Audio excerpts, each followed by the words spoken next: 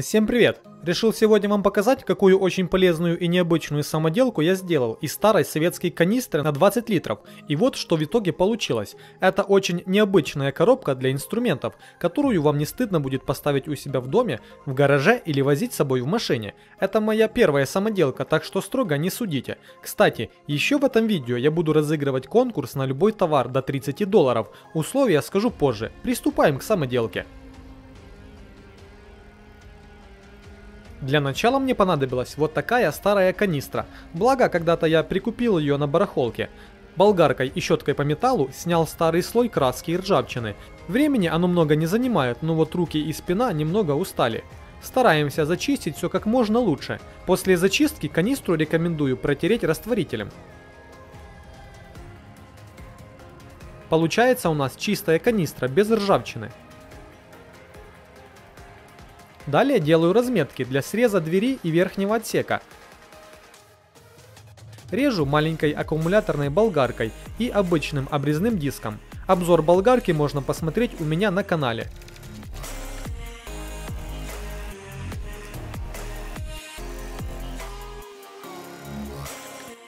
Разметку делал на глаз, придерживаясь вот этой картинки.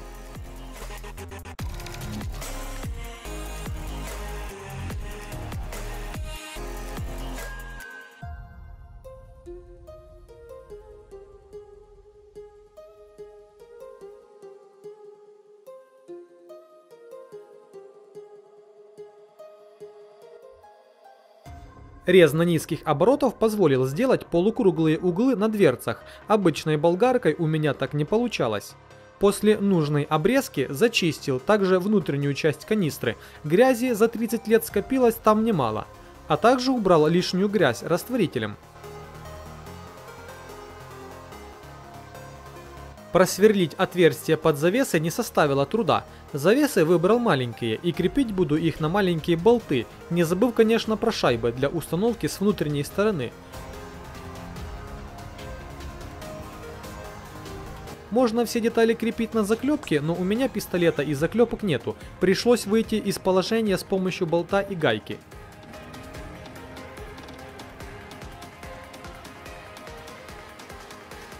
Перед покраской желательно прогрунтовать изделие. Главное помните, что грунтовать желательно сразу все детали, так как грунтовка в баллончике может засохнуть. И покрасив сначала одну часть, как это сделал я, при покраске следующей части через некоторое время, вы увидите, что сопло в баллончике засохло и придется покупать другую грунтовку.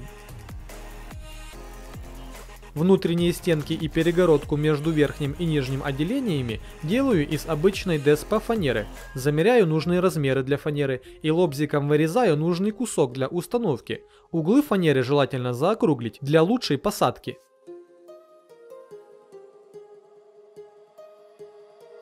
Зажимаю перегородку обычными длинными саморезами по дереву, предварительно просверлив отверстие нужного диаметра в металле для закрутки самореза, и так с каждой стороны.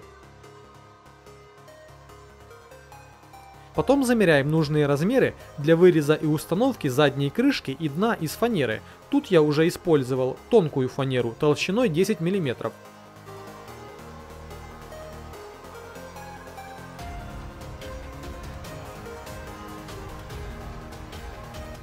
Как видим, с учетом дна из фанеры, задняя стенка подошла идеально. Для соединения и придания конструкции надежности, по углам я закрепил маленькие уголки.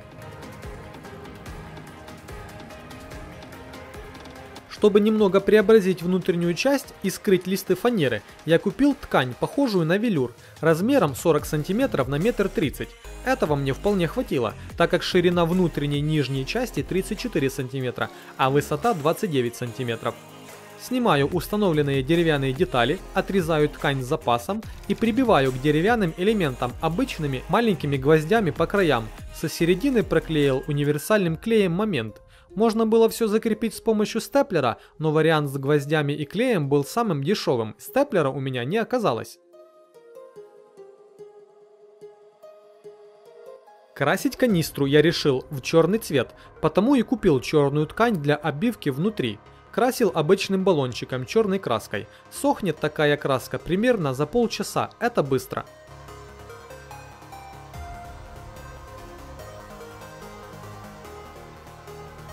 Далее устанавливаем перегородку, заднюю стенку с дном назад и смотрится канистра уже хоть как-то привлекательно.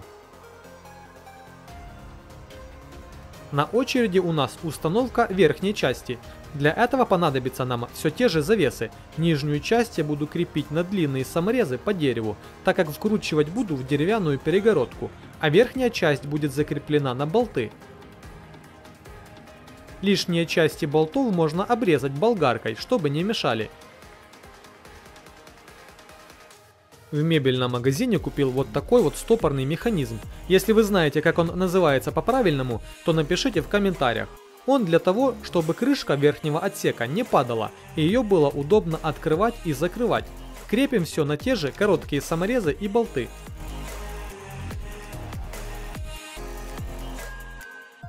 Для установки внутрь я купил в строительном магазине спецсудок для мелких инструментов. Он оказался немного больше, чем нужно, и пришлось его подрезать, прикрутив после его на мелкий саморез в деревянную перегородку. Все закрывается без проблем. В качестве замка я использовал вот такой вот маленький мебельный замок. Двух штук вполне хватает, один для верхней крышки, другой для двери. Прикрепил все на те же болты. Получилось неплохо и надежно. С такими замками канистру с инструментами можно без проблем переносить, не боясь, что она откроется в любой момент.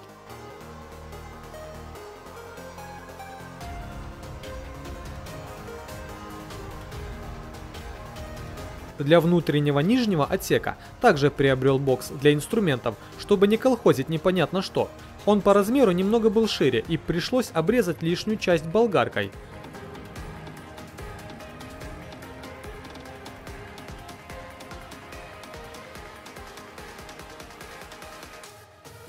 Бокс прикрепил короткими шурупами к дну, и получилась хорошо закрепленная конструкция с большим пространством снизу, отсеком для мелких инструментов и деталей и крышкой, на которую можно без проблем поставить еще боксы или придумать что-то еще в верхней части отсека.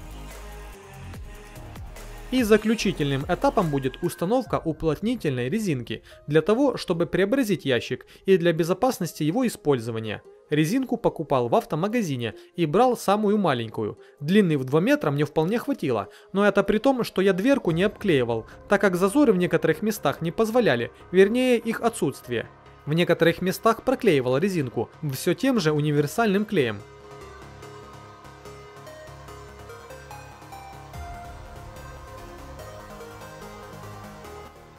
В итоге у меня получился очень классный и необычный ящик для инструментов, который может вместить в себя огромную кучу мелких и не очень инструментов и будет компактно и надежно содержать их в любом месте, где вы захотите. Так что берите себе на заметку, даже если у вас пока нет канистры.